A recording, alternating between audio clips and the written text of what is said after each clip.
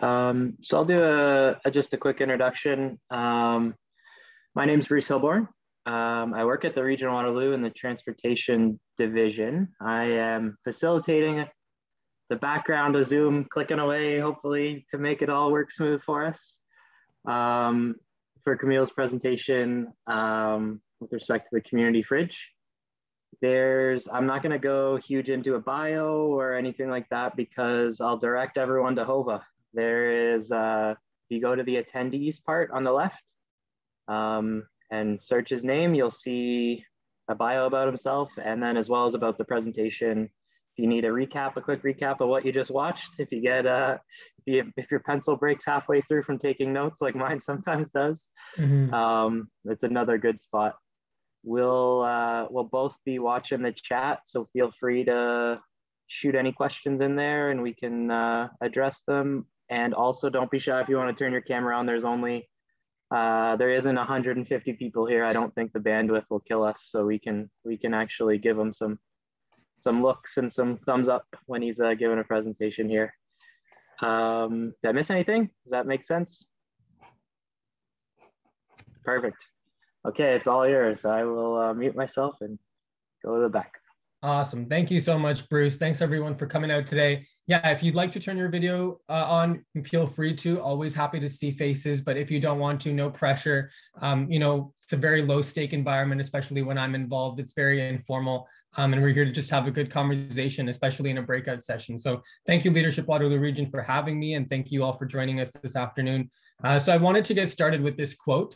Um, and I'll let you folks read it, and I'll also read it out for accessibility reasons. The place to look for care is in the dense relationships of local neighbors and their community groups. Uh, so we won't dive too deep into this quote, but I wanted to begin with this quote because it really uh, does inspire a lot of the operating principles behind our organization called the Community Fridge KW, uh, which is the organization through which we will be looking at the last year and a half or year and a bit um, in the next hour or so. So um, like Bruce said, my name is Kamil. I'm really happy to be here uh, on behalf of Community Fridge KW. And the title of this presentation or breakout session is called The Abundant Community Collaboration Amidst Crisis. Uh, and so before I get started, just a really, really brief cap about me. I know you'll find more information about myself in the Whova profile, but uh, a lot, like a lot of people, I came to Waterloo for school. I went to Wilfrid Laurier University, fell in love with the region, found my purpose in the city, uh, and you know found my community as well and that's what kept me here. So really happy to be here today to be talking about this topic. Um, if you have any questions concerns comments throughout the presentation feel free to interrupt me. Feel free to use the chat function. Feel free to message bruce. Uh, whatever works best for you we'll respond uh, when we get a chance to have a look at it. But before we get started how's everyone feeling? Take a quick check in with yourself. If you've got your camera on give me a thumbs up or a thumbs down. If you don't have your camera on just give it to your computer either way um, if you're feeling down here, hopefully by the end of this today, you'll, you'll be up here. But if you're feeling up here, let's hope you can stay up there. Um, but I'm gonna get started now. So one of my one of the biggest lessons that I've taken forward from you know university, also in my personal life, and brought forward into this project is this lesson around falling in love with the problem and not your solution. Uh, and what I mean by that is, you know, not glamorizing the problems or the systemic issues that you're trying to address, but really being obsessed with the problems that you're hoping to solve as opposed to your solutions that you believe is the correct solution. I think for a lot of us who come from traditional project management backgrounds or you know have any sort of experience in group dynamics whether that's a team project at school um, or you know uh, something we did in the community we often find ourselves feeling very close uh, and connected with the solution that we've come up with because we're so excited about the problems that it'll solve. But for me, it's really about falling in love with the problem uh, and thinking about the problem more often than the solution because the problem comes first, frankly, let's be honest, as it should. Uh, so I wanted to start with the presentation with creating, uh, doing some sense of problematization. Um, I wanted to articulate some of the problems that our organization hopes to solve, but also bring you folks into the project uh, by starting with those problems that I think everybody can resonate with. So the first thing that you know the community fridge KW hopes to tackle is food insecurity, and we'll get into a bit of how we do that. But I just want to start with the problems at hand. Um, you know, before the pandemic, we knew that one in eight households across Canada experienced food insecurity in the last year before the pandemic. And we also knew that 10% of households in the Waterloo region struggle to put food on the table. And that's from 2019. That's from the region of Waterloo statistics in 2019. So that's pre-pandemic.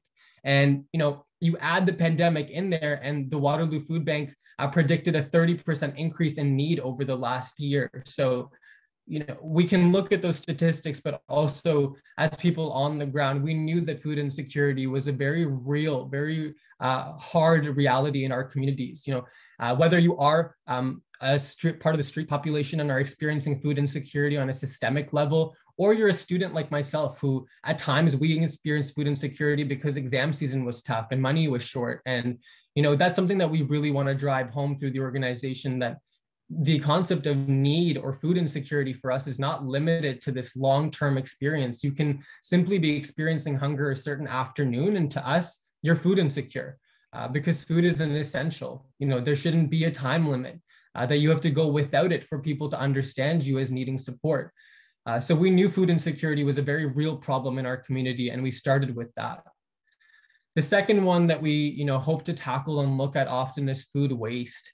Uh, and I, and it's strange to be looking at this in the time of a pandemic, but you know we'll talk a little bit about how we have looked at it and how we've been a bit radical. Uh, but based on the avoidable food crisis report in 2019, Canada was losing 58% of its food produced in the country every year across the value chain. And that cost the economy over $49 billion each year. That's a significant amount of loss for food that we're producing that could otherwise be rescued. More particularly, we know that 32% of that amount of food that's being wasted, or 11.2 million tons, could be easily rescued and saved to support communities across Canada. And these are statistics before the pandemic. So we'll add more problems as we go on through the story. But you know, if you just think about it before the pandemic, these problems were very real. And if those statistics aren't enough for you, the average Canadian household spends about $1,766 a year on food that's wasted. So even if you come down to the individual level, it's quite nasty, uh, the problem of food waste. So uh, that was a very real problem that we coupled with food insecurity. The third problem at hand that we kind of introduced is social isolation. Um, you know, I don't even need to share a lot of statistics about this for people to recognize this as a real problem, obviously as a result of the pandemic. But even before the pandemic, you know, from the 2008 2009 Canadian Community Health Survey, 525,000 people across Canada, which is 12%, age 65 or older, felt isolated, which meant that they felt removed or separated from their communities at any given time. And if we hone into the Waterloo region and focus on our context specifically, based on the Waterloo Wellbeing 2019 survey, 19.1% of people across the region said that they felt isolated from others in the community that is a high enough number for us to recognize it as a problem and know that that's something that we need to be looking at uh, in any sort of organization that we're creating because it doesn't have to be about food or shelter for it to be a matter of people uh, and people are experiencing social isolation period the fourth problem that we introduce is COVID-19, which is not just one single problem. It is the acceleration, you know, the deterioration of all of these problems that we've already addressed, they've all been accelerated, they've all been uh, taken to the next level. And so I won't even share statistics because we've all lived through this together. Um, but you just know that food insecurity has become deeper. Food waste has gone even further because of hyper anti-sharing. Uh, social isolation has increased however many fold because people are at home and unable to interact with the community. And then you add, you know, other toxic uh, parts of the equation like unemployment and uh, you know not being able to pay rent and lack of social support systems and the social services are no longer open. So you know add covid-19 to the mix and you've just got a nasty chemical brew uh, of things that threaten the livelihood of the most vulnerable in our communities. Um, so those are the four major problems that i wanted to begin with and i wanted to introduce the topic by problematizing those. Uh, before we move into understanding what mutual aid is. So we've been saying since we've since we began as an organization that we are a mutual aid organization, but we recognize that you know there's a learning curve there. Mutual aid is not a super common term, at least not as common as the word charity, uh, and so there's a little bit of an education curve there. So to provide you with some basic fundamental understanding, here's a definition of mutual aid that's very high level. Um, and I'll read it out. Mutual aid is a collective effort to meet the community's needs usually with the understanding that the existing power structures are not meeting those needs. Uh, and this definition comes from Dean Spade, who is uh, an advocate in this space and as well as an academic in this space. Uh, and there's a few parts of this definition that I'd like folks to kind of think about. You know, at the most fundamental level, mutual aid is simply neighbors coming together to solve neighborhood issues without the involvement of authority or central figures like government or police. Uh, if you were to take a minute, and I highly, highly encourage you to do so, and think about examples that you can come up with of mutual aid, they're all around you. Uh, you know, to give a couple examples in this space to share, um, neighbors in, in the pandemic grabbing, you know, uh, prescription medication for their seniors on their street because their immunities have been compromised. That is an example of mutual aid. They might not have an Instagram page, but it's mutual aid. Uh, you know, people grabbing extra groceries for someone they know who's struggling, who lost their job. That's mutual aid. Or, you know, neighborhood neighbors coming together to discuss how we might raise funds to solve, you know, uh, a, a traffic light that's causing accidents in the region. That's something that we want to come together to do. That's mutual aid. And obviously, community fridges are an example of mutual aid. So, to get into what community fridges are, um, I'd like to introduce you to Community Fridge KW first and foremost. Community fridges are a model of mutual aid that have become prevalent across the world, but especially Europe and North America in the last five years. They are just one example of mutual aid, one example of grassroots movements working towards community care uh, and essentially, in a very easy put way, they're public repositories of fresh donated food that anybody can take from for free at any time. Uh, with no questions asked and no interrogation or anything like that. That's what they are at the most fundamental levels. They're hoping to tackle that food insecurity piece, uh, address that food waste issue, uh, bring in individuals who are experiencing social isolation. And then when you add COVID 19 to the mix, community fridges become that much more of a radical and monumental uh, piece that addressed cracks in the system. So I wanted you to meet Community Fridge KW before we talk about the story of how we got started. Um, but that's the first image for you. So I want to take you through our story. I want to I want to share with you how it's happened. I want to share with you the journey, uh, and like the description said, share with you the good, the bad, the ugly, um, the pains, the you know opportunities, and the highlights, because all of that is part and parcel of our work. Uh, it's not been uh, this you know complete perfect trajectory of only successes and achievements and i think that's just part of doing good community work that you recognize when there are highs and lows and valleys and peaks and you're consistently looking at the problems presented to you to find solutions but we're going to start with august 2020 the conception so in August 2020, my friend Angel and I, who both attended Wilfrid Laurier University, you know, we're seeing the issues that we just presented to you all around us. Uh, we were seeing food insecurity get accelerated. We were seeing food waste. You know, we one of us worked in a restaurant, so we were seeing the effects of you know uh, COVID and hyper anti-sharing and hyper cleanliness and the very real issue of food waste. We were also seeing people uh, isolate themselves behind closed doors because of the pandemic, because of unemployment, because of uh, health issues and community issues, and the lack of social services that were available. There was a lot of siloing happening around around the region. Um, and we wanted to do something about it and we wanted to respond and we were inspired by the movement that's been happening across europe and north america. You know at the time that we were getting started toronto had just placed their fourth community fridge out. Calgary had just started their first one and regina was building their first one out as well. So there was a lot of energy in the space and you know, when I sometimes people ask me the question of, you know, Kamil, can you think about something good that came out of the pandemic? And it's a very awkward question because it's been such a rough time. But if you had to think about something, I would be, I would have to say it's this collective understanding of we need to respond and we need to do something. We all felt that. We all felt that at a much um, higher level during the pandemic. We all felt like we were being called upon uh, to the community. And that, that comes with uh, people experiencing the same problems at the same time, neighbors experiencing neighborhood issues and wanting to do something about it. Uh, so the two of us on August 10th sent our first email uh, to businesses and organizations across the region from a Gmail account that we had just created with zero legitimacy and zero funding uh, and zero other folks involved. It was just the two of us. Uh, we reached out to organizations and businesses to see if they'd be interested in the idea and lo and behold, 15 days later, on August 25th, our first community fridge was open at Zero Waste Bulk. So in 15 days time, and I know it's it's crazy to think about now, but in those 15 days, eh, it snowballed.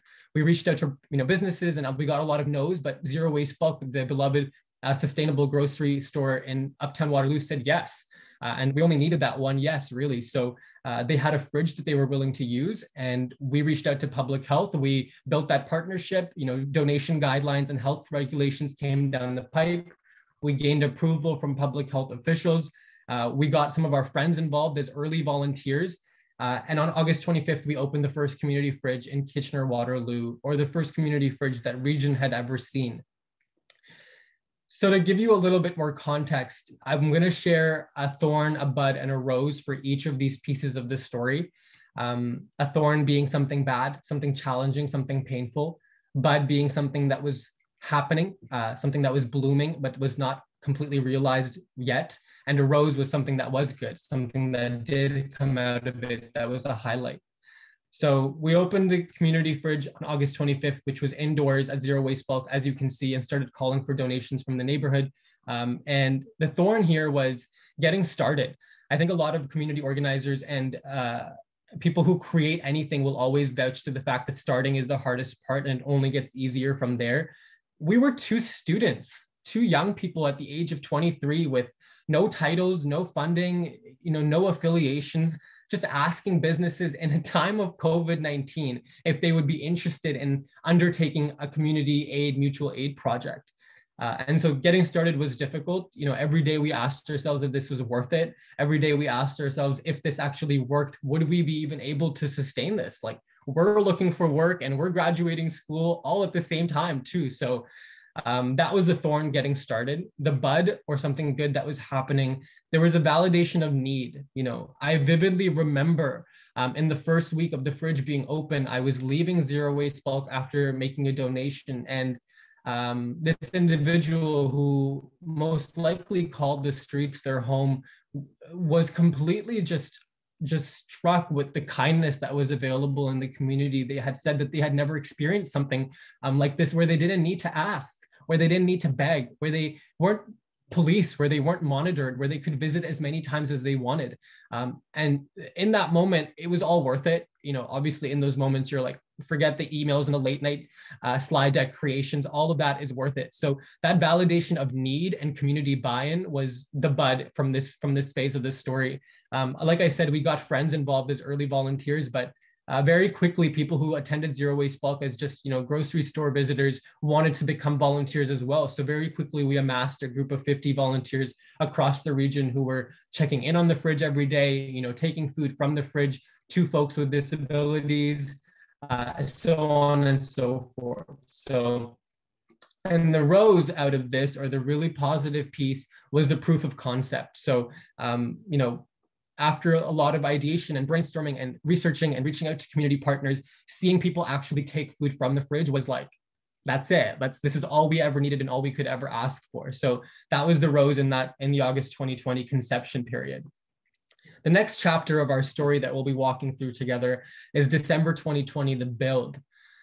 So in November of 2020, our pilot at Zero Waste Bulk started to come to a close uh, our partners at Zero Waste Bulk wanted to regain access to their fridge, and we knew that the the the fridge at Zero Waste Bulk was not going to be long term. Um, you know, something that I was saying from the very beginning for the project was I want this to be zero barriers to entry, and having a fridge that's in a business that's you know only open during operating hours, that's a barrier right there. Uh, I also recognize that Zero Waste Bulk is not the average citizen's uh, grocery store. There is privilege associated with accessing sustainable goods. So there was another barrier. Um, there's staff that obviously have to work in the store, even though they may not have any ill intention or um, malice. The individual feels like they might be policed or surveilled, and that's a barrier to entry. So we always knew that this is going to be outdoors. And as the pilot came to a close, it was an awesome opportunity to get that started.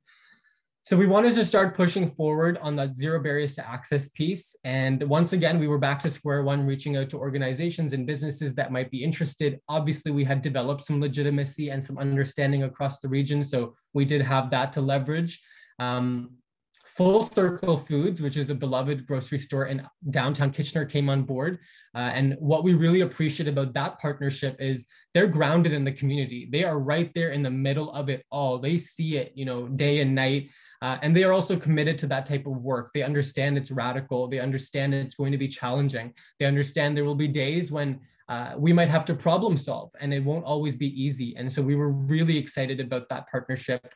We started to call for, you know, it we now had a location we needed to find a fridge which was the next step uh, i was looking at kijiji we didn't have any funding mind you um, and we really didn't want to get funding we didn't want to fundraise from the community because this was a mutual aid project and we wanted to leverage the community's existing resources and skills so we just started to call out for a fridge um, on social media incredibly powerful and lo and behold a neighbor named austin kennedy reached out and said hey, I've got a fridge. I want you to have it. And I'm going to deliver it for you as well. And obviously, once again, these moments of like, it's all worth it because you're getting that validation of community buy in. And you're also getting uh, neighbors from all sorts of walks of life come into the project because you've opened it up for them to do so. So Austin dropped off this fridge. Now we had a location and a fridge, but it was about to be winter. And the fridge was sitting outside in a parking lot. So it was time to build a shelter. You know, I was looking at sheds that home hardware might like to donate. I was looking at outhouses that we could reuse. Um, it was a lot of research. And eventually I realized that I was doing it all in here and not as much out here. So I just started reaching out to people in my network that I was working on this project and if they had any insights. I reached out to a professor of mine at Wilfrid Laurier, who's also a mentor named Stephen Svensson. Uh, and Stephen has a lot of experience in the community doing really great work. He's had experience building tiny homes, uh, building chicken farms, so on and so forth. Um, I brought Stephen in, and Stephen said, you know what?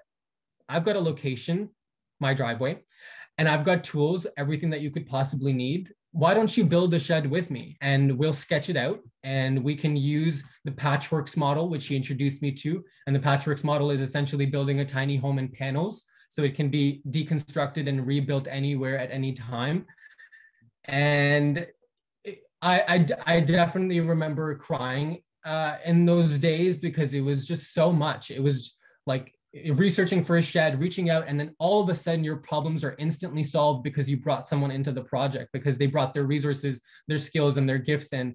So Stephen came on board, and it was just about to be December. It had already snowed. I started to reach out to home hardware. I started to reach out to other partners that might like to donate materials. Uh, and CBC wanted to do a uh, story on us on the first day of the build, on the first Saturday that we got together. And that day was just to sketch out the design uh, and to find some materials around the region. CBC came by and did a story on us. And let me tell you, that story blew up in the best way possible. We had people from around the region reaching out to donate wood, their reclaimed wood, their pallets, screws and nails, their labor, uh, you know, their skills, marketing skills, anything you name it. People were starting to reach out, and the messages were just pouring in. And and we hadn't even put a call out. We hadn't even you know asked for wood. We had just said that we're working on this project for the community and that everybody is invited to join in any ways that they can. And I remember going with Stephen to pick up, you know, wood pallets from this gentleman who just had a bunch of wood pallets in his garage. And I remember going to um, an old axe throwing place, which is closed down now, to pick up a bunch of plywood that we used to build the door. And then we built a partnership with Home Hardware because they saw us on TV and they wanted a piece, and they gave us screws and nails to, for the for the for the shelter build. So we had everything we needed. And over the course of four weekends in December, with complete volunteer labor and volunteer gifts and skills. We built the shelter with our bare hands, um, and we used zero dollars to do it. Um, and so near the end of December, the shelter was constructed. It was sitting in Stephen's driveway. Um, and we eventually got it to Full Circle Foods a couple days before the opening. And we opened the fridge on December 21st, 2020, and it served its first customer two minutes after.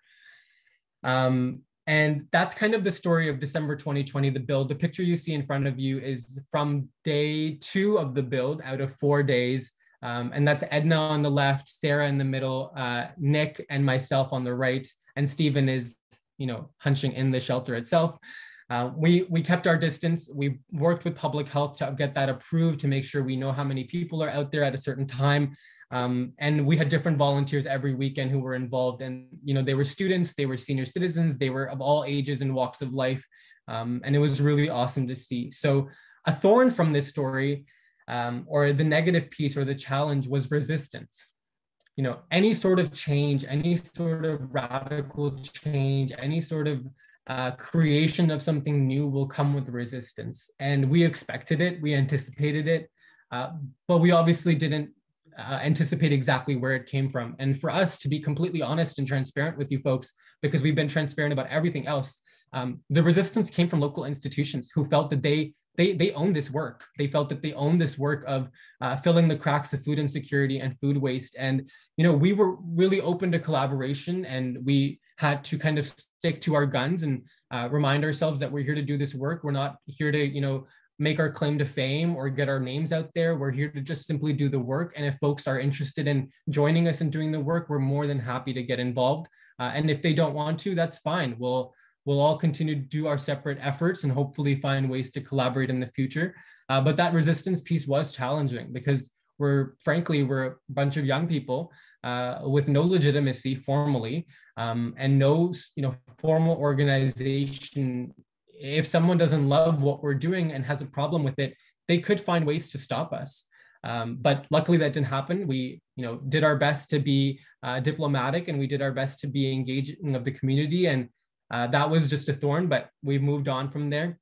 A bud during this time was Buzz. Like I said, CBC got on board and we didn't reach out to them. They just heard from the community that we were doing this bill. We had put out the word for a fridge, uh, especially in the middle of a pandemic when you know a bunch of young people are asking for a fridge. Uh, I think people will notice. Um, but there was a lot of buzz around the region, which was great. And the final piece, the rose or the really great strong point out of this chapter was uh, the community buy-in. You know, right off the bat, on the very first day, we had businesses ready to come donate food. We had organizations ready to spread the word to their to the folks that they serve who are already vulnerable people. For example, the pregnancy center came on very early on, uh, and they wanted to spread the word to their constituency as well as individuals. You know, whether they're donors. Uh, out of their backyard people were donating food very early on or their users you know while we were building the shed, I remember folks walking up to us on the driveway and saying, Hey, what is this? Hey, can I access food here? It was a crazy experience. And um, I think that just comes with putting yourself out there in the community and accepting your role as, uh, as you know, service. Um, and once you, once you uh, kind of commit to that, uh, people won't be shy to ask you for support. And that's exactly what we want. So that was the rose that we saw community buy-in across the board. The final chapter of our story is present day, the operations. So I won't get into the nitty gritty um, because we're going to talk about that in just a moment. But just to give you a high level understanding of where we're at, we've got 250 volunteers across the region who are taking care of the fridge, who are taking care of food rescue, who are delivering hampers, who are checking in on the fridge to disinfect it, uh, who are taking care of marketing, who are taking care of outreach and building food partnerships. Um, and there's a lot of good stuff happening that we'll talk about in just a moment. But the thorn here out of this chapter was that change comes with a curve. Uh, and once again, to be completely transparent and open with you folks, because this is, you know, a conversation about uh, solving problems. The problem that has come out of this present day chapter uh, is the need for education. We recognize that mutual aid is a departure from how folks have given in the past. Charity, or you know, the model of giving that we're all most familiar with, and inherent to it is a power differential. It involves a vertical movement of power from top to bottom. Someone has something, so they're giving it to someone who doesn't. There is just an inherent power imbalance there. Mutual aid is works on a horizontal plane. There is no power imbalance. It consistently moves from left to right. We recognize that there will be times when we have the ability to give, and there will be times when we need to take. Uh, and that's part of being human and recognizing our role as neighbors. Uh, and that's there's no power differential. It's sharing across this horizontal pane. So that is a departure, like I said, from how we've been, been giving. So for example, once again, being completely honest with you folks, folks in the past might have typically given to a food bank, you know, a monetary donation. The food bank then makes the decision of how that money is used and will equitably distribute that funding through its the folks that it serves. Flip that on its head and through a mutual aid project and introduce a community fridge. Someone wants to give to the community fridge. We don't accept monetary donations. You want to give something, go to the fridge and drop off some food. They go to the fridge to drop off some food, and right off the bat, they're meeting the individual who's going to be using that food. There is no separation, there is no power separation. They meet that individual right there. They can be conflict, and there has been conflict as a result of that dynamic and you know that conflict can look like that's not enough food for me or i don't know if you need all that amount of food. Um, and there's you know various aspects of policing and there's various aspects of surveillance that are involved. And all of that reminds us that there's an educational curve here. Um, this is different. This is a different way of giving. This is a different way of community care. And we see that. We see that every day.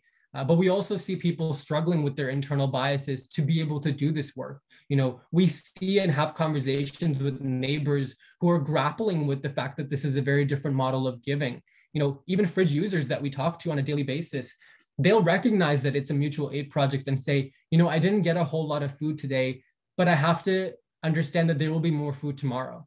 It's not like a food bank where they can request it a certain amount of time later. They can come later that night and there will be more food there. But once again that's a that's a change in behavior that requires a change in perspective. Uh, and so that's one of the that's the thorn here is that there's a curve and we're we're tackling that every day. Um, and you know we're doing education to the community. We're walking with the community. We're you know reminding folks that we don't police we don't collect data we don't surveil our our neighbors. Um, and it really is a radical understanding of community care. It will take time for people to understand that and for to come fully on board. But we know we're on the track because people are grappling with themselves.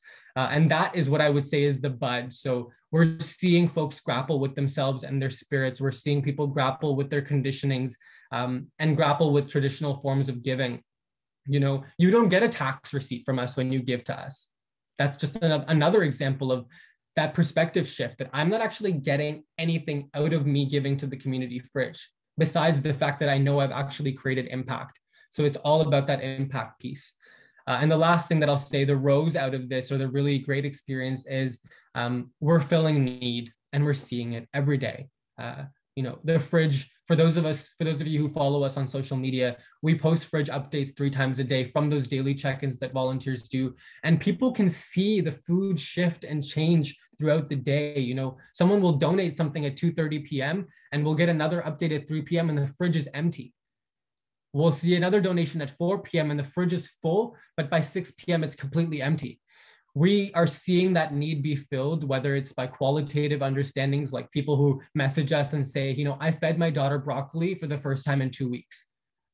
It's either that or quantitatively, we can see the fridge changing, but we don't collect data on fridge users. So we'll actually never know um, who's taking food, for how much, for how many people, how often, and we don't want to know.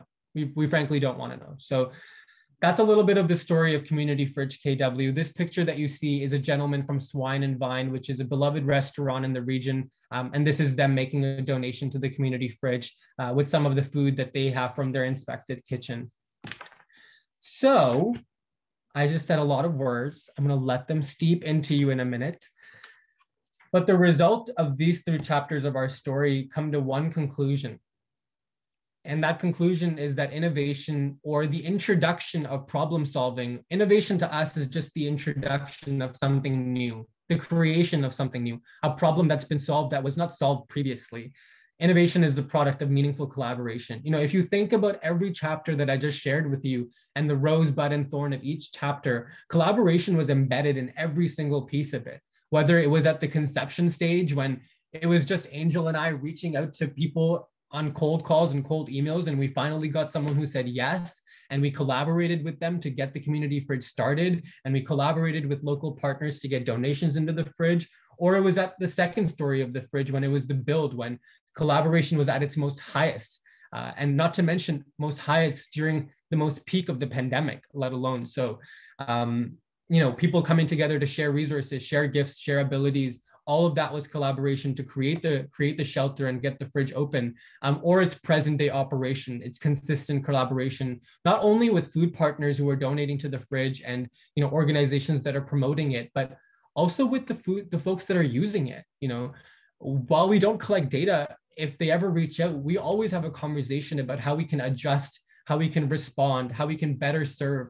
Uh, and that to us is also an example of collaboration. We're collaborating with those that we seek to serve because this is about them. It's not about us. It's not about an awesome idea that we had that we are absolutely adamant on installing. It's about solving problems, and that requires collaboration. So, collaboration amidst crisis at its most, uh, you know, highest form. But how did that happen, or how do we do that on a day-to-day basis? I've introduced to you the four problems that we've had, and now I want to walk you through the four solutions that we co-created with and for the community. So the first problem that we looked at was food insecurity, and the solution that we created with the community is zero barrier food access. And to us, zero barriers means 24 7, which is the fridge, it's open 24 7, zero data collection, no questions asked when you take food or when you donate food, but there is a donor log for contact tracing form for contact tracing purposes, but still zero barrier access. Um, it's open anytime and donations come at all times. So it doesn't it doesn't have to be in the daytime we know a lot of our community members especially as the weather gets better have need at nighttime uh, and the fact that they can access free food at night is a zero barrier so um, that was the solution to that that we co-created food sharing and re- food rescue the second problem that we had looked at was food waste um, and so we worked with the community to find ways that we can rescue this food and we can share this food through the community fridge so Obviously, individuals donate to the fridge from their extra, from their grocery trips and from the food that they grow in their backyards. Uh, but we also have businesses that we've built partnerships with, Swine and Vine, Cafe Purist, um, Full Circle Foods. The list goes on. I can't even remember the list now. Um, Ace, Ace Shawarma and Burgers. There's several. There's several food partners that are donating food to the fridge from their kitchens that would have otherwise been wasted or thrown away. Uh, that's one way that we're saving food, uh, but we're also building partnerships to rescue food. So, for example, we've offered this service to the community and businesses across the community that if they ever have food that is going bad or is about to go bad or that they will throw away, all they need to do is reach out to us, and one of our volunteers will go pick that food up and deliver it to the fridge. And the turnaround time at the fridge is less than an hour. So we know that that food will get used immediately um, and it won't be sitting in someone's pantry for additional days. So we we do food rescues every week from across the region. People send us an email or give me a call, uh, and I organize a volunteer to go make that pickup. So that's food sharing and food rescue. In a time of hyper anti-sharing, um, we figured out ways to work with the community to rescue this food and prevent it from going to waste. The third problem that we looked at was social isolation, and my response to that has been multiple points of entry.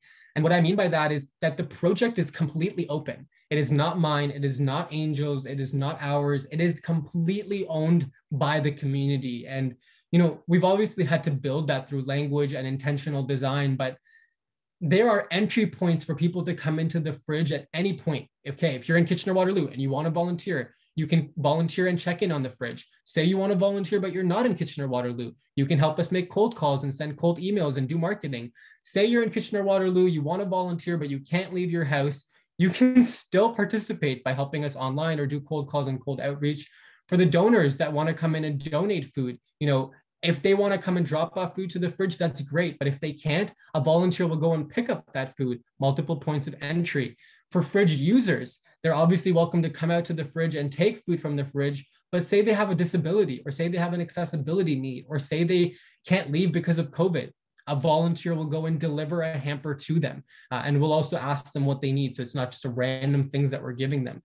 Say a food partner wants to come on board, but they don't want to donate food to us. They want to donate something else. We will work with them to figure out what else they can donate. For example, our paper towel comes from 10 spot downtown Kitchener, the spa in downtown Kitchener. They wanted to donate something, but they're not a food business. Uh, so they donate paper towel, multiple points of entry. Uh, and and the list goes on and so on and so forth, right? And very soon we're going to be inviting volunteers and neighbors to come and paint the fridge. Uh, very soon we're going to be inviting folks when things get better to have a food drive around the fridge. Multiple points of entry means that there is opportunity at any given time of any given day, regardless of circumstance, for individuals to be part of this project because it's theirs. It's not ours. Uh, and, and it's a constant reminder because if it truly belongs to them, there needs to be a channel that they can get involved through, right? Because it's theirs. Uh, so we have to consistently look for multiple points of entry and open those up. And on the flip side, obviously this benefits the community, but it also benefits the project because um, there's only so much that we can do as organizers. There's so much more that we can do as a community when people have access to a project and feel like they are accountable and owner and take ownership over it. The project is automatically self-sustaining because it it isn't limited to any certain group of people. It belongs to the community that it seeks to serve. So this is both, you know, a advantage for the fridge and also the community. And the final solution is fostering organic relationships. So we had looked at COVID-19 as the final challenge. Um, and our response to that is fostering organic relationships and facilitating connections of support. So what I mean by that is, um, you know, obviously the community fridge is a model of support, is providing people with fresh donated food for free.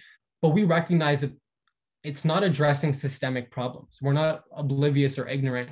Um, and we also recognize that it's only addressing a small portion of challenges that people are feeling, in, especially during this time, which is food insecurity uh, and social isolation, let alone other challenges that come with unemployment, having children during this time, being a single parent, you know, losing social services, losing welfare. There's so many other challenges that are that are very real. Uh, so for us to tackle COVID-19, we need to build those organic relationships amongst neighbors to help each other beyond just the community fridge. So it's not just about food. It's not just about the community fridge. It's about fostering those organic relationships with people from all walks of life who otherwise, you know, if the fridge did not exist, would not have interacted. Uh, through the community fridge, they build these relationships and they build organic understandings of camaraderie and neighbors uh, who are there to help each other out. You know, whether that's they built a connection because a volunteer delivered a hamper to them at some point and now they chat here and there and the volunteer sends them resources that they can access. That's one example. Or you know an individual who comes to the fridge every week and has met one of our food partners and now the food partner has created a, reg- a schedule with them to get food to them directly. So whatever it is we're fostering organic relationships at the fridge that go way beyond it. And that's how we're addressing covid-19 um, at a much larger level so I said a lot of words and and I'm fasting, so I probably should take a break, but we're gonna go right into the learnings. Um, obviously, it's been a phenomenal experience, and I've only shared so much in the last, you know, 45 minutes. Um, and I and I wish I could share everything. And if you want to learn more or want to hear everything, please feel free to reach out after this. I'm always up for a conversation. Um, but for the sake of this presentation, I did want to share four learnings uh, that I've walked away with, but I've also consistently had to come back to uh, because this job is not a one and done situation, right? Like it's a 24 hour seven uh, gig for me. And when I say gig, I don't mean it's a paid job or anything, but it's something that I think about all the time uh, because all 250 of us, all of us volunteers are thinking about this 24 24 7 because the fridge is open 24 7. We are serving our neighbors 24 7 and we're consistently thinking about that. So uh, these are the learnings that I have to keep myself in check with. This is my favorite one and also the one that I have the hardest time with. Um, and I will be the first to admit it as well. For a lot of us who come from traditional project management or corporate you know experiences or having gone through school and worked in traditional team projects um, we really want to own things. We really want our name on things. We really i'm going to say i. I really want my name on things. I want to be known for the work i'm doing. I want people to know that i'm working hard. I want people to know that it's me who's behind this project. I want people to know that i'm the one dedicating all this time that right there is me drinking ounces and ounces of my own Kool-Aid. Uh, and this was a lesson that I learned from a professor at Laurier named Nicole McCallum, who always said, keep your ego aside, don't drink your own Kool-Aid. And what I mean by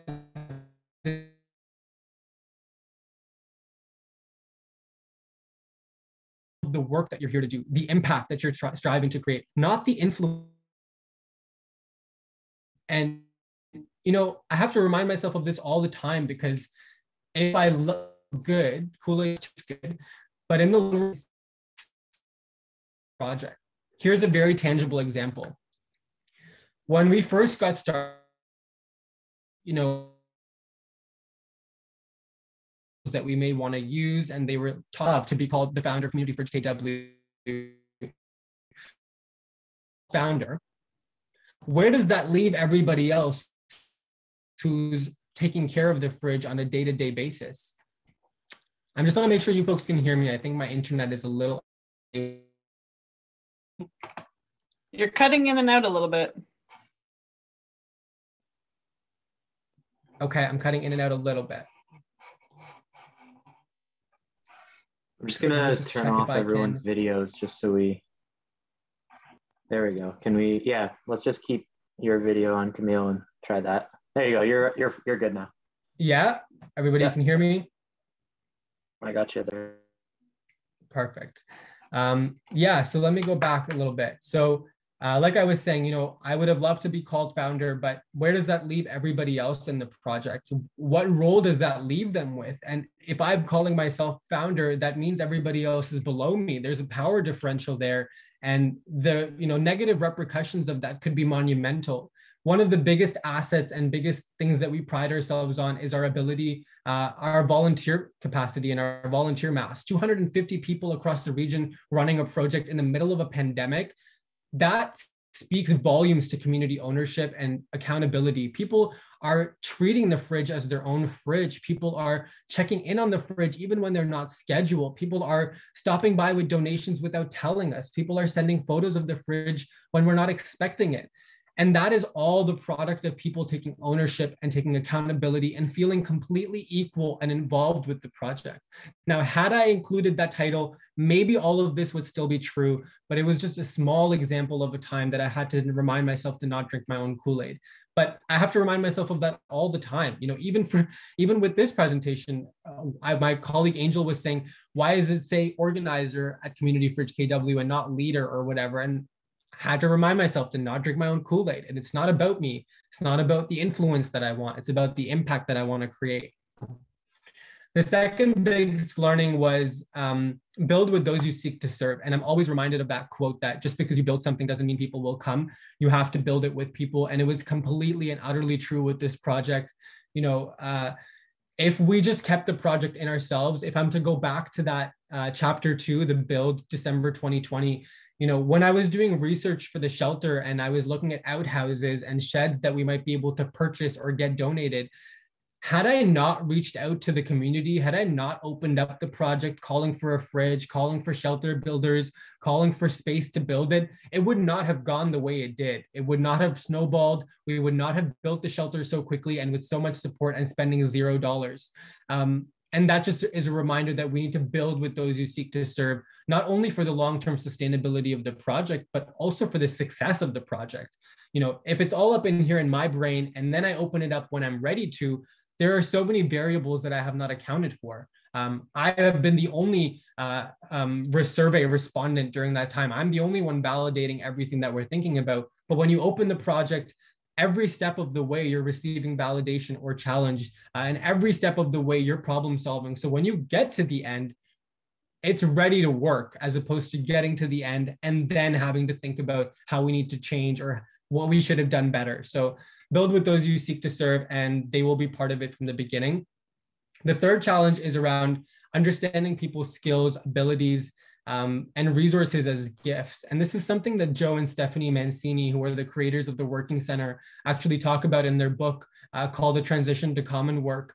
Um, and they talk about understanding people's skills, the gift, the resources that they're able to bring, their proficiencies, their resources as gifts. And when we're able to kind of shift our perspective into understanding people as bringing gifts, we then find a value and a spot for each and every individual. You know, you don't have a car, and traditional understandings of volunteering that might be okay, you can't actually volunteer with us. But if we're focusing on gifts and we're having a conversation around gifts, we have to explore what else they might have. They don't have a car, but through a conversation, we learn that they have an immense and a very powerful network and they don't need a car to gain you know the buy-in from their whole street and now the whole street is doing a food drive and donating to the fridge every month uh, and that is a person's gifts. They didn't have anything tangible. They didn't have anything physical or monetary uh, but that skill their ability their resource their network that is a gift that they're sharing with us. Uh, and when we understand people's skills abilities and resources as gifts we never say no to them because you're not going to say no to a gift. Come on Who says no to gifts? Um, so that's kind of a perspective shift, and that's allowed us to have that 250 plus volunteer base, allowed us to work so fast, uh, and allowed us to be so responsive of the community. And finally, um, this one's on my bulletin board. Actually, all of these are on my bulletin board, but this one's in bigger letters somewhere.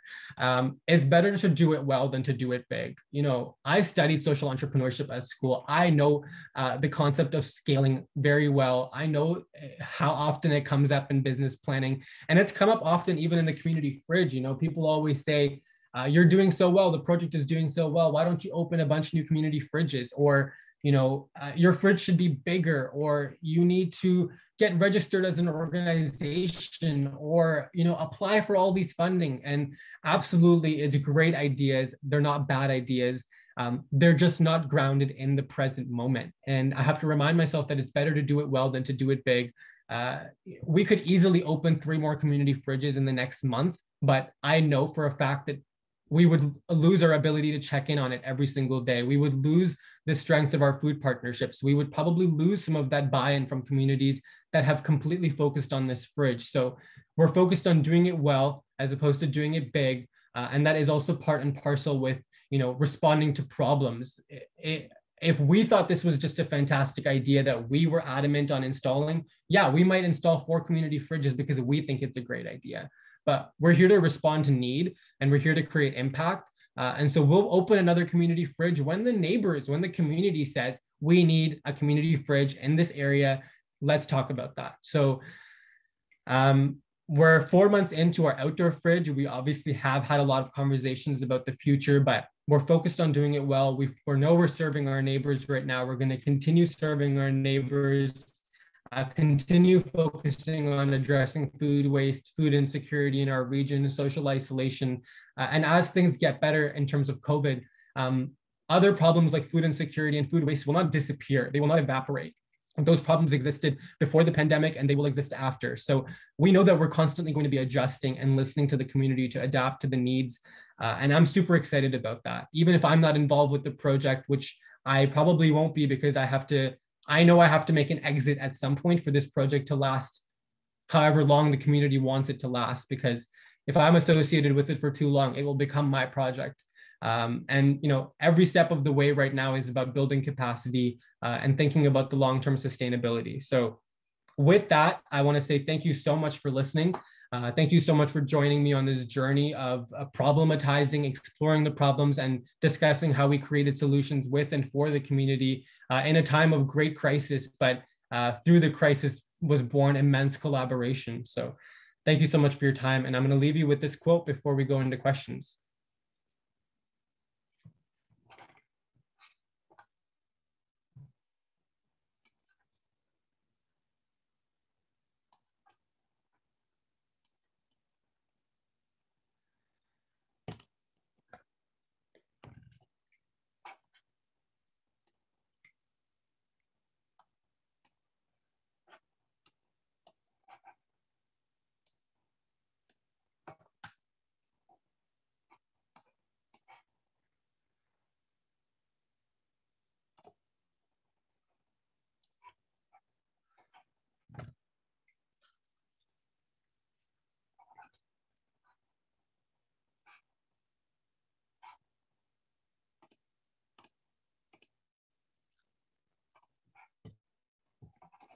Do you have any questions?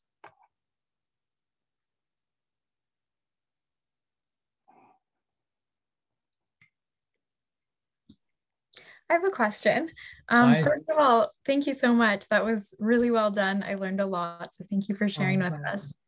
Um, yeah, one question I had is uh, something from my experience, like working in the restaurant industry, something that I've heard a lot about.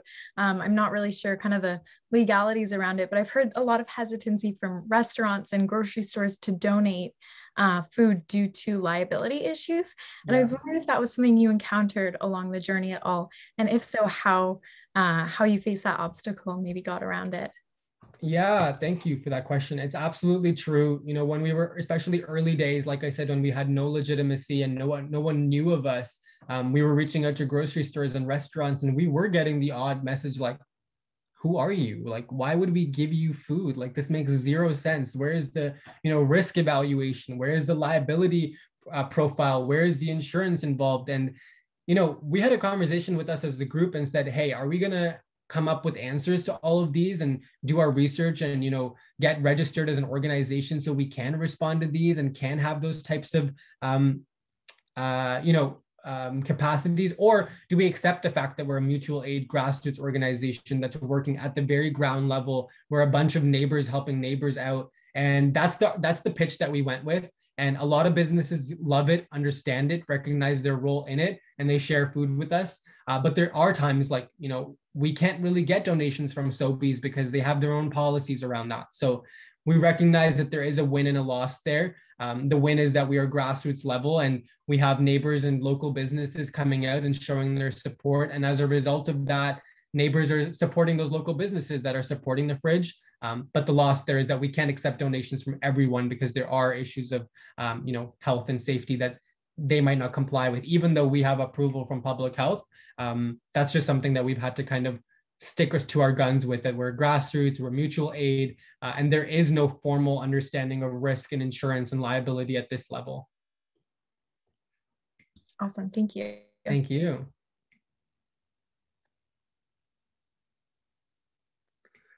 All right, Emily, great question. Emily says, if the neighborhood I work in Cambridge is interested in exploring a community fridge, where should I start the conversation? We are shifting as an organization to encourage neighbors to have conversations, and it has started around community gardens. Absolutely. So, you know, a promise that we took on after the community fridge, after we built our community fridge, is that we would help others do the same. Uh, because when we were starting out, we were working with Regina and Calgary and Toronto, who were all providing us with resources and best practices. Um, and we wanted to return that favor. So we've actually had conversations from people in Peterborough, Burlington, and Guelph, uh, and Cambridge to start community fridges in those cities. Um, I believe there's a there's an organization called the 519 Community Collective that's working on community fridges in Cambridge. So I would definitely connect with the 519 Community Collective on that because I think they've started with some pantries.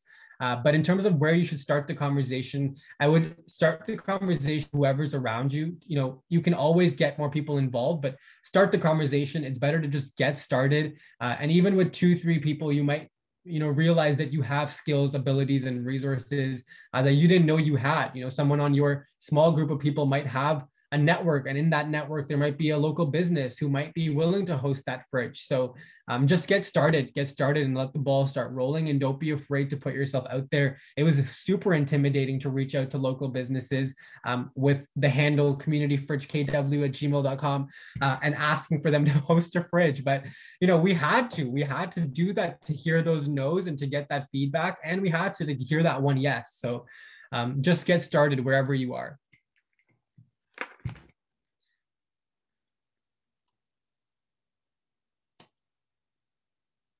Yeah, uh, love the idea of it's better to do it well than to do it big. Me too, as well as taking advantage of the different skills volunteers bring. Absolutely. Keeping both of these in mind and being creative with volunteer skills. Do you have future goals on how to keep improving the current bridge? Yeah, absolutely. Like I said, we're always responding to need. And as the weather gets warmer, the dynamics of the fridge are changing. We're seeing more people visit the fridge at nighttime, um, which means that we are calling for donations at nighttime where we weren't before. We are seeing more people hang around the fridge because the weather's better. So we've created new language for our volunteers to use when they're doing check-ins around, you know, not loitering around the fridge, but also making sure that we're not saying to our neighbors that they can't hang around a food source because that's exactly what a food source does. It brings people together. So we're constantly adapting you know like i said as the weather gets warmer and as covid things lift we really want to paint the fridge and we wanted to reflect uh, our community's dynamic and our community's um, personality. So we're going to call out for neighbors to come help us do that and local artists to come do that. We had a health center in Kitchener last year, last summer, when we were getting started, reach out to us and say they wanted to host a community fridge in their health center. So, you know, we might revisit that conversation if they want to get another community fridge started. We're discussing food partnerships with community gardens as the weather gets warmer. Um, so lots of constant future goals, but uh, the one future goal that is definitely static and uh, stagnant in place is responding to need.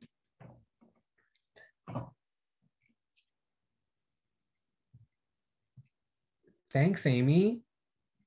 We've got about 10 minutes left. So feel free to share your thoughts, comments, questions. Even if you don't have a question and you just want to have some dialogue, feel free to chime in. More of a more of a comment. I found it really interesting that I I almost assumed at the start of your presentation I would hear the not in my backyard aspect of things. And to hear that it kind of was larger corporations or that element of things really I was like, oh, it really threw me for a loop on it a little yeah. bit. That's that's not the angle I expected here. Yeah, thank you for raising that, Bruce. And you're right. That's like when I said we were anticipating pushback and we were anticipating resistance. You're exactly right. We were anticipating resistance from neighbors. We were anticipating resistance from citizens um, saying, you know, this isn't something that I want to see. This is somewhere that I access my daily groceries. I don't want to be seeing this. But it was completely different. And you know, once again, if I have to think about a positive outcome of the pandemic, it's this um, accelerated, obviously accelerated challenges, but the outcome of that has been accelerated empathy and accelerated understanding, and um, you know, this radical inclusion and radical love that people are f- experiencing and feeling, and that might be because they're missing it from their own lives, or they're seeing how much pain and hardship exists in our communities, and you know, who can say it not in my backyard when there's so many challenges in our backyard that we can be part of. And, and, you know people really see their role in it. People really see how they can be part of this and get involved. And uh, something that i say to my i say to our volunteers all the time is people are good people are good people are good. Um, and that's something that we've had to learn through this project that people are good. People want to do good. Uh, people want to be a part of something bigger than themselves. People not all people might have the privilege of starting it though. Not every person has the you know uh, time and there's resources and the skills to be able to put this in action and to make it work. But we go back to those multiple points of entry points that people are good. If you create something that has points of entry ways, people want to be a part of it. So uh, I think the fact that we have not had that type of resistance speaks volumes to uh, where our communities are at in this time, but also how we've invited the community members into this space. Um, and yeah, so that resistance has really just been at the institution level. Uh, and even that has really diluted and kind of fizzled away. But um, like I said, with any type of radical change comes uh, an educational curve. And, you know, if we as individuals are having a hard time shifting our mindset from charity to mutual aid, can you imagine the actual charities who own their charities who have to shift that perspective? So uh, we're here, we understand, we're here to walk with everybody. Absolutely, it speaks volumes for the community and where where we place that. So it's it's it's a nice micro and macro example, real world example of it. So it's nice to yeah. hear that. Thank you. No, thank you, Bruce. Thank you. Um, Sarah, no need to apologize. Uh, I'm homeschooling. Shout out to parents everywhere. You folks are absolute bosses during this time. Like incredible work. Huge round of applause to parents everywhere. Uh, but what does Community Fridge 2.0 look like? So we don't know. We don't know what Community Fridge 2.0 looks like because uh, we haven't heard from the neighbors or the community about what it should look like. Uh, we know that, like I said, we will respond to need. If someone reaches out and says we need a community fridge in our neighborhood, we'll absolutely explore that, and we might open a second community fridge in that neighborhood. Um, you know, someone reached out to me just yesterday who said that they would love to explore a community fridge in the Stanley Park area, and you know, I'm never going to shut that idea down, but I'm also not going to instantly say yes to it because we have to determine that there is need there and that we have to determine there is community buy-in there for long-term sustainability. So it's not about me, it's about the impact. Um, so Community Fridge 2.0 will look like what you want it to look like. So reach out and stay tuned and um, get involved. Um, yes, Emily, I agree with you. I recommend that you keep your project focused on mutual aid. As a charity, I can help with the education piece of this puzzle. It is awesome to see how people have connected with that they have reached out to support this project. Yes, absolutely. Great example of innovation in our region. I completely agree. Thank you, Emily. I'll give a couple minutes if anyone else has thoughts or questions or comments or concerns. But either way, thank you all so much for joining us today. I really appreciate you being part of this conversation. And the conversation doesn't have to end here. Um, you are more than welcome to connect with me with the links in my profile or Community Fridge. The email is in there. Um, and I'm super, super eager to get to know all of you. Huge shout out to Leadership Waterloo Region for having me today. Uh, thank you so much, Bruce, for being the handler and organizing and helping me focus on the presentation. Um, and hopefully, when things are better, we will all get to see each other in person, um, meet around the fridge, uh, and gather once more. But in, in the meantime, we will continue to support each other in the ways that we have been. Thank you for thank you for all that you just did. It's uh, it's so nice to hear the passion and the excitement and the, the goods and the bads of your story. It really it really is uh, invigorating and like I, I love hearing the passion in your voice. Um, uh, I can I'll thankfully speak on behalf of everyone in the room. I I really really enjoyed it. I would assume most people have multiple notes of pages like I do, takeaways of little nuggets of information. Same. I know I filled up an entire tablet page of it. So I really appreciate all the hard work you're doing and continue to continue to do. Um, and yeah, like you said before, in the the Whova app, don't forget that you can uh, directly message you or send an email connected to you. Um, you and myself are around if there's anything that people need to ask questions for or want to more clarity on, then um, by all means reach out. Um, but other than that, I believe, unless there's any last minute questions. Yes, Amy, huge shout out to Amy for for making that connection about monetary donations. You know, I still get messages every week from people saying I'd love to donate money, and um, I always start that conversation with, "What else can you donate?" um, it sounds very like selfish, but uh, we're really just getting we have that conversation to think about their skills their gifts their abilities um, besides just their money. And you know sometimes money is a gift. It absolutely is a way for you to show your support but we really want to get to the fact that us as neighbors have the ability to come together uh, with what we already have you know what's in our backyard what's in our brains what's in our hearts. Um, so that individual who messaged this week said that they wanted to donate money. We had a conversation about what else they can donate and turns out they've got a lot of hand sanitizer and i want that hand sanitizer for the fridge. So uh, they're going to be donating hand sanitizer to the fridge uh, and you know that's an expense that we don't have to make now. So huge huge point amy. Thank you. Thank you everybody else in the comments. I really appreciate it yes, we'll see what happens in the next six months. Stay tuned. Mm-hmm. Uh, absolutely. Thanks, Bruce. Okay, so if is that Yep, yeah, I think you're all caught up. Beautiful. Good job. um, okay, so the, I, I believe the next piece is at 2.45 if everyone uh, wants to grab a drink of water or come come check us out over there, I'm sure the actual awards itself will be just as invigorating. Yeah. Thanks Have a again. Have a great rest Kamil. of your day, everybody. You Bye.